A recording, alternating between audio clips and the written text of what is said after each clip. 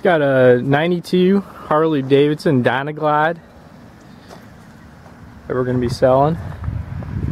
This has the Evolution motor, 1340 cc's, 80 cubic inch. As you can tell, it's a pretty clean bike for the year especially. Uh, never been down or wrecked or anything along those lines. A clear title.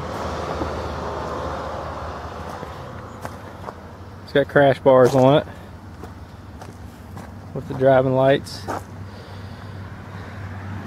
Tires have some life left in them.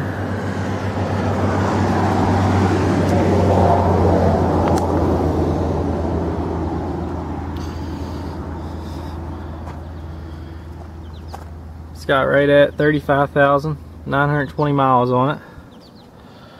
This bike does run good and ride good.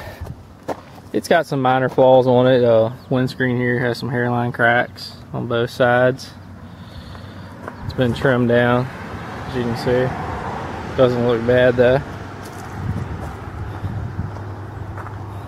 It's got some minor paint flaking right here. Cover.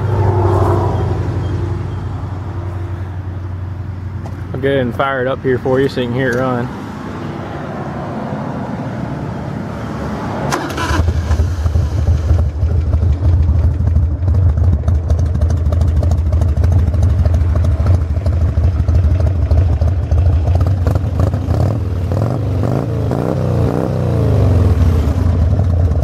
As you can see, the bike doesn't smoke